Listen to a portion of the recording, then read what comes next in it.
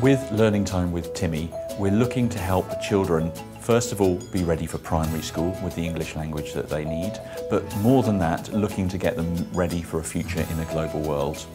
We want every child to fulfil their full potential and so we give them a range of learning tools to be able to do that. Introducing English to learners um, aged between two and six means that learning languages comes much more naturally to them. Well, young children are born curious and what we've done at the British Council is we've tapped into that natural curiosity. The Learning Time with Timmy curriculum is developed by our experienced uh, specialists in English as an additional language who also understand that every child is unique in the way that they learn.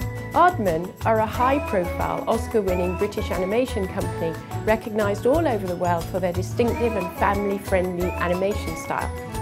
We approached Aardman to partner with us because Timmy's stories are the perfect way to bring our English teaching to life and engage early learners. We create a safe, happy and relaxed learning environment set in Timmy's world where the learners feel uninhibited and uh, secure and relaxed so they can communicate without, without worry. Well, he's been here for two years now, and uh, he's uh, well, he's, uh, he's got a good vocabulary for his age, and he's able to understand us when we talk to him in English. So it's great. Our interactive and play-based approach nurtures children's creativity, critical thinking and self-confidence while they learn English naturally with good pronunciation. We take inspiration from the UK's early years foundation stage.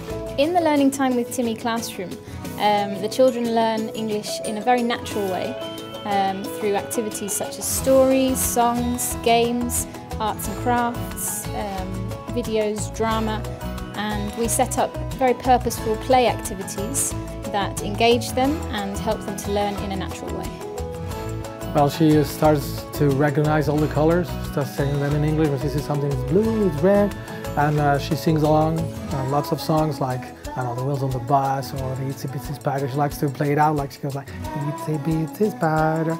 So she loves that sort of thing. So she didn't used to do that, and now she's really starting to uh, know, she, she likes talking in English because it's fun for her here at school. Children aren't afraid to make mistakes and so they have this playful approach to learning a language. Some children may not even realise they're learning another language, so that's another benefit. When children are exposed to the sounds of English from a very young age, there's this window of opportunity that they have to reproduce those sounds in a very um, authentic way.